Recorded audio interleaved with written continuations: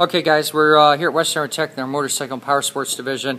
We're going to, uh, previously we showed you how to remove the flywheel a couple different ways. Now we're going to show you how to properly torque the flywheel um, using the proper procedures uh, as shown in the manual. A lot of people, Al, you want to go ahead and hold the impact up?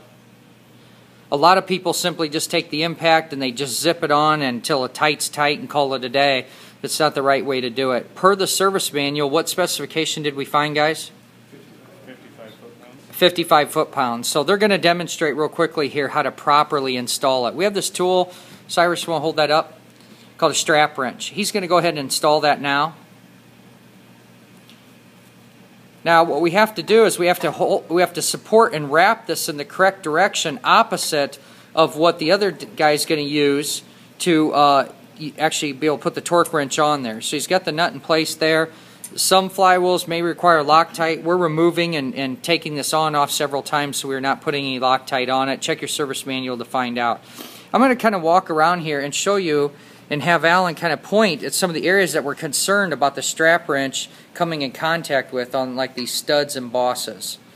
So as he's got that tool wrapped around and you can see basically the head of the tool, we point at that with your thumb there, Cyrus, yeah, right there guys what we're doing is we want to make sure as we wrap that we're not going to bend any metal guards, any housings, any shrouds, or anything else. So his, his main function is to basically support the flywheel so that Al can go ahead and torque this down. Now another thing we have is a snap-on digital torque wrench. You can go ahead and just unthread that battery compartment real quick. Just You don't have to take it all the way out. Just loose. Okay, now thread it back in. Okay, when you let it sit for a little bit, guys, that just has an automatic reset in there. We're going to torque this to 55 foot-pounds, so we want to do at least two steps, so we'll split that difference. What are we at right now? 31. Okay, so he's going to hold it. We're going to go ahead.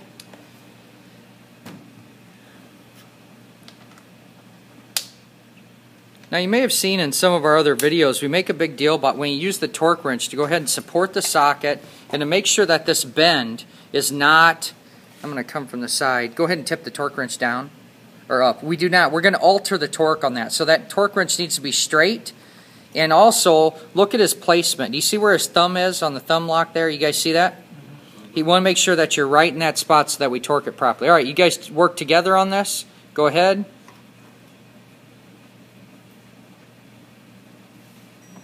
Okay, you can hear, hopefully in that video you can hear the buzzer on there. What Alan's actually getting is a vibration sensation through the wrench as well, uh, stating that he's got that done correctly. He's going to hit the up buttons here, pop it up now to 55 foot-pounds.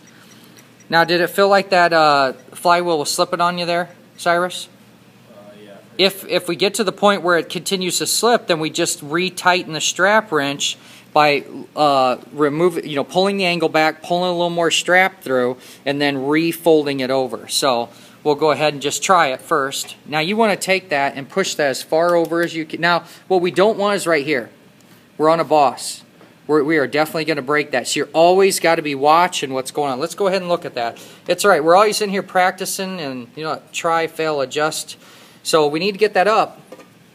Or we need to move our flywheel, move your tool, into a position where you're not on that. It's just, it's absolutely unacceptable to take a risk. If we folded that over, what would happen? We'd 100% break the case on this. So let's make sure we're looking at this. Are we 100% secure now on where we're at? Yeah. Cool. See how you move that out of the way? All right.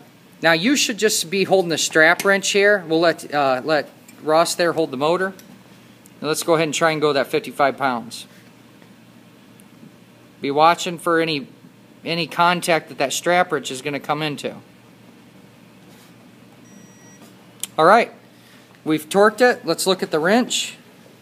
Okay, now we actually, what's cool about the digital torque wrench from Snap-on here is it tells the actual applied torque there. So we had 54.5 right at that point. He did a great job of not really over torquing it and coming right into specification. Guys, that's how you properly torque a flywheel using the correct tools and not just grabbing the old impact and tight's tight.